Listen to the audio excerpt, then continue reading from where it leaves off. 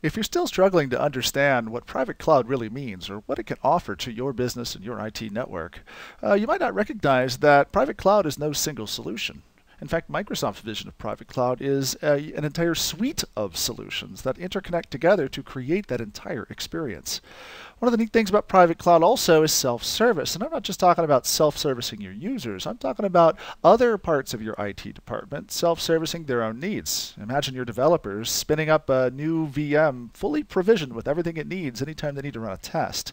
Well, in order to accomplish that, you have to set up self-service, which connects VMM with Orchestrator with Service Manager in order to get things up and running. It's not an easy task, but I'll give you a couple of shortcuts in this upcoming micro nugget. It's based off of a recent CBT Nugget series I put together on the 70-246 exam. If you've got a Microsoft virtual environment, you're going to want a private cloud.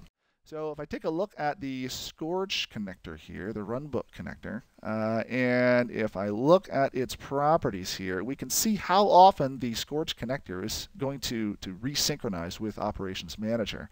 Uh, it looks like the connector is enabled. We're syncing off of the root folder here. There's the web console URL.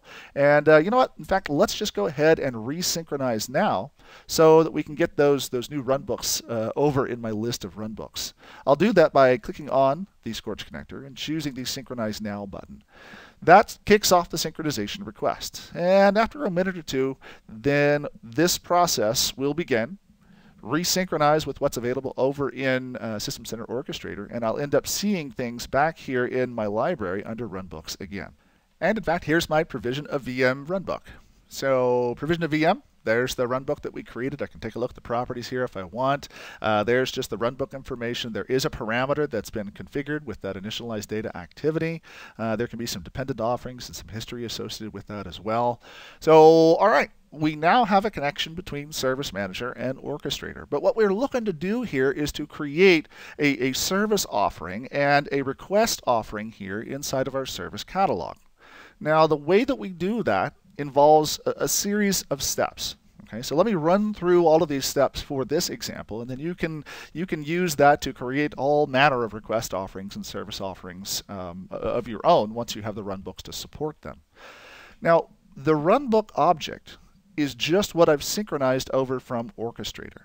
But in order to actually do something with it, I have to first create what's called a runbook automation activity template.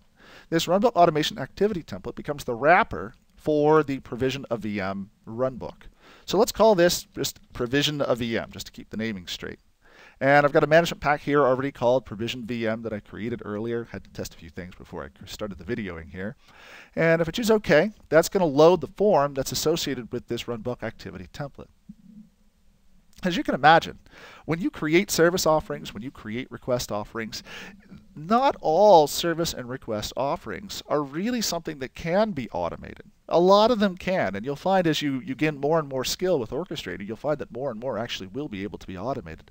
But at least in, in, in the early days, right? Or if you're talking about something that's not easy to automate, well, you can create a request offering that just that does nothing more than generate a work order. Or you can create a request offering that generates a work order, runs the run book, and then completes the work order, right? So, so automates everything. This checkbox here, titled Is Ready for Automation, is the most important checkbox in this, this activity. Because this is ready for automation checkbox says, you know what, I have a runbook that I want you to execute whenever this template actually gets filled out. So remember that. If, I've, if you've got an orchestrator runbook, that checkbox becomes very important. Uh, the runbook we're looking at here is called provision of VM, and I can put in values here if I want. I'm not going to put them in here because I want to populate them as part of the service and request offering. Uh, there are configuration items, uh, things in here. I've got some scheduling stuff in here when that, that's actually going to get scheduled, whether or not it's going to involve downtime or not, as well as related items. Uh, that's really all I want to do here in creating this runbook activity template is simply just to say, you know what, let's go ahead and link that runbook. Let's check the box so that we're going to execute the runbook whenever we invoke the template. The next step in the process is to actually create the service request. So I've got Runbook. Runbook is encapsulated by the automation activity template, and the automation activity template is encapsulated by the service request template. And that's something I'm going to do down here under templates. I'll right click and choose to create a template. Let's call this provision of VM, again keeping the all the naming straight. Uh, and the class of template we're going to create here is going to be a service request, which is down here. Want to learn more? Check out cbtnuggets.com.